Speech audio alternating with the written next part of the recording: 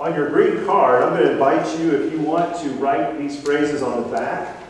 After the sermon, we're going to have a reflective moment. Uh, we're going to show a music video, and you'll have a chance to sort of reflect on the scripture passage and the, uh, the sermon. And these are just a couple of phrases I thought might be helpful in the reflection. Um, you don't have to do it that way if you don't want to. You can just sit and enjoy the video if you want. It's Flyleaf. We've seen them before in worship. Um, they're actually coming to town if you're interested in going. They're going to be here July 11th over at Pops. Um, if you like that. I will caution you though, we have normally watched their acoustic sets in worship as reflective moments. That's not their normal mode of performing, and you will have a very different experience when they pull out the electrics and, and get loud. So, but if you're interested in going there, at Pops uh, July 11th. So there's there's that. Did you grow up with one of these in your house or your yeah? Did you ever cut them open to see what was inside? That's a mess. That is a real mess. So as I was starting to wrestle with this text, I had the two images. I had this image and then this corresponding one of stretching because uh, Stretch Armstrong, while Stretch Armstrong stretches, it's more like I do these days, very slowly and very slow to return to my normal shape. The other downside of Stretch Armstrong, and I don't know if your friends did this to you the first time I was introduced to uh, Mr. Armstrong, they said, go ahead and punch him. Yeah, he stretches, but you hit him and he's like a rock. That hurts. The other image, those that stretch regularly for fitness or otherwise, um, it is a renewing, relaxing exercise. Those are two trajectories that this text can go. And we see those two trajectories right off the bat with James and John going into the Samaritan town to prepare the way for Jesus. They're trying to set up lodging and food and, and things of that nature. And I won't get into the whole feud between the Israelites and the Samaritans. We'll save that for another day. But there was one, and Jesus and his crew are rejected. Now, I don't know about you, but when someone I love gets rejected, I feel very much like James and John, and bringing down the wrath of God, a little fire and brimstone, would feel pretty good. And that's what James and John suggested. And then Jesus rebukes them and has a different ethic. This is sort of a precursor to what we see in Luke 10, when Jesus sends out the 70 on their whole practice mission, their experiment in doing mission work. And he gives them very specific instructions. If you're trying to look at the gospel from a big point of view, we have that ethic of Jesus that if, if you try to save your life, you lose it. If you give up your life, you save it. That whole kind of ethic. What we see in today's text, what we see in Luke 10, puts some flesh on that. So it's not just some esoteric saying, but we actually see it put to use. So Jesus' ethic is uh, to love your neighbor regardless of the hospitality they offer or don't offer. Uh, in fact, if you read through Jesus' ministry, I never read Jesus getting mad when he's mistreated. Whether it's in the passion at the end of his ministry or at the beginning after his baptism when he's doing his first sermon in his home church and they almost kill him. He does not get angry at those folks, but when he does get angry is when another of God's children is being oppressed or when God's house is being mistreated. You remember the story with the whip coming through and cleaning out the money changers. Jesus is all about some righteous anger at that moment. But when Jesus is rejected, it's just not the way he reacts. So I want to invite you to ponder with me for a moment because I think the real key to this text is the last half of what Tracy read for us. There's three encounters.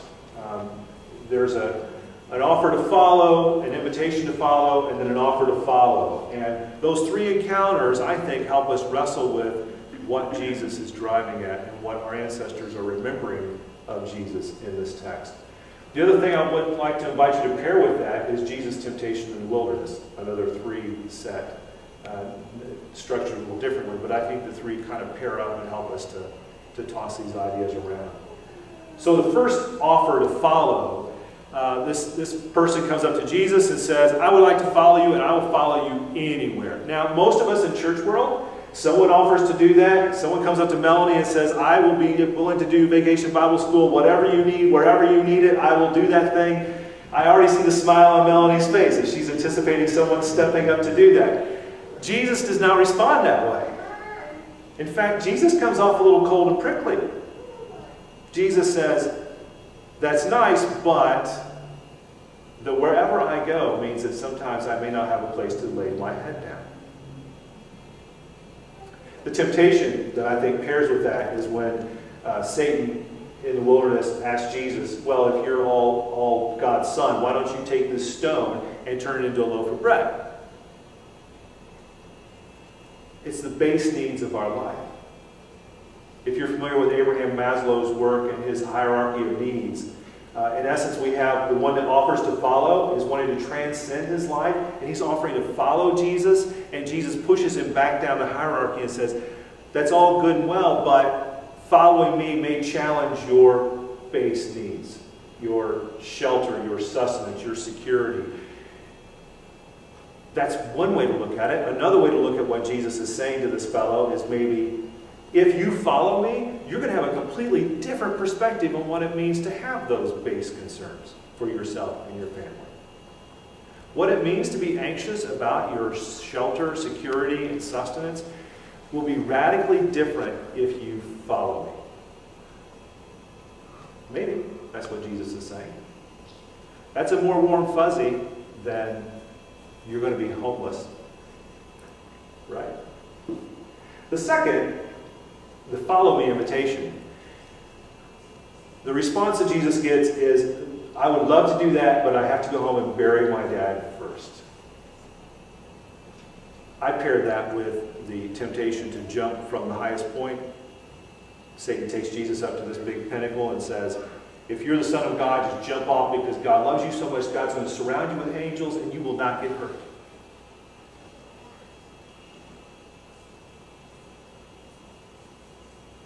Now we've gone from the base needs of our life to now we're asking questions of life and death. The edges of our being. Instead of the core where we live every day. When's the next meal coming? Who's going to the grocery store? Who cleaned the house? Um, now we're talking about life and death. And again, Jesus comes off a little cold. Let the dead bury the dead? Really?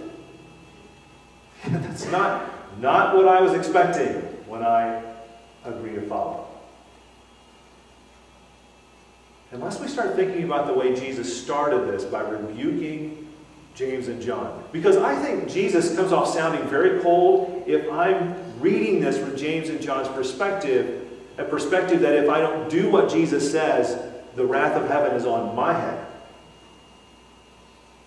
Now it feels about manipulation and coercion and a lot of pain, that whole fire and brimstone stuff. So, if we read it from Jesus' perspective at the start of this text, of loving our neighbor regardless of the hospitality they provide, maybe what Jesus is trying to say is that if you will follow me, your perspective on life and death issues will be radically different. We are talking about following the one that gave us the breath of life to begin with. And us, the reader on the other side of Easter, understand that we are following the one that paid such a price so that we would live forever. The one who is going to gather us all together around that big banquet table when our time comes. We're not following a stereotypical monarch we're following one that loves us. So the last, uh, the, the last piece of these three, we have the I follow you statement, followed by I will follow you after I go say goodbye to my family. I'll sign up, take my marching orders, but I need to get my affairs in order first. And Jesus' response to that person is, do you know what it's like to try and plow when you're looking backwards? It's kind of like driving a car when you're looking at the rear windshield, which works great when you're in reverse, but does not work well when you're in drive.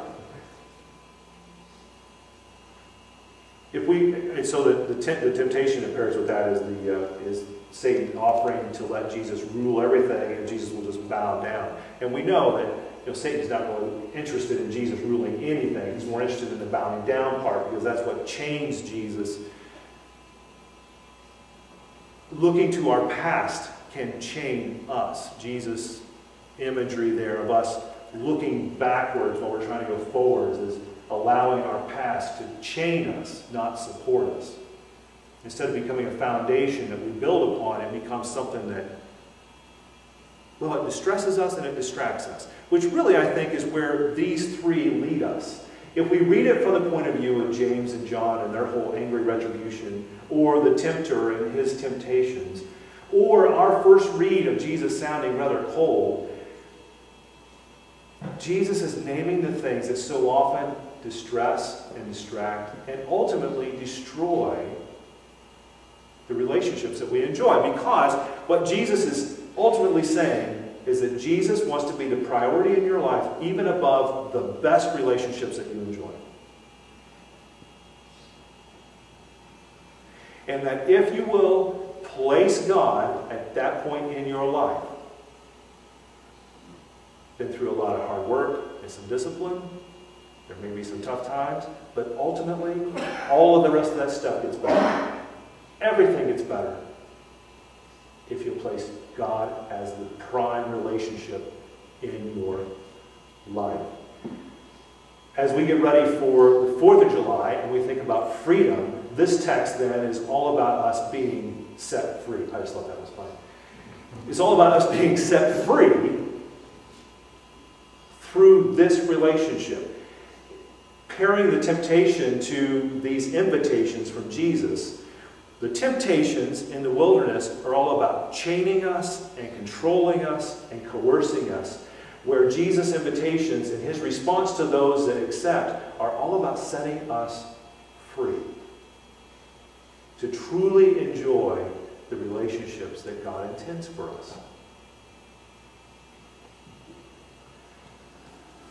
Linda tells a story of her daughter Lori's life. Uh, Linda's from over in Ohio, and they live a little north of Dayton. Lori was um, born, and there was some concern because there had been several children, and they were all closely spaced, and the doctor was worried about Linda's health, the mother's health, and so even the doctor may have been a little surprised when Lori was like three weeks overdue instead of being an early preemie as they all expected. Lori was always known to be not just a wonderful, lovely child, but a rather determined child. We might say willful. Had a wonderful growing up in church, but her teen years were difficult. And Linda says that the Sunday after graduation, they got home from church to find Lori's room empty. She had moved out. No notice, no forwarding address, just gone. In addition to some frantic searching and phone calling, Linda said all she knew to do was to pray and to give Lori up to God. Lori then starts to help tell the story at this point and says that um, her moving back home, and she was gone a month, her moving back home was really when she had decided in her life that it was time to start trusting God more than trusting herself. They don't share a lot of details of what happened. I'm certain, as you might imagine, it was not pleasant. But what they wanted to share when they told the story when I heard it was that they had named God as the prime part of their life. And when they did that, it allowed them to reconcile with each other and to get back into healthier space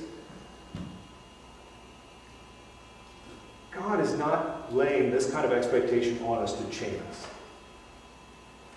God's done way too much work and invested way too much time in you to do that. This is truly about setting you free. We're going to enjoy a, a little reflection moment, and I'll let you um, as you wish.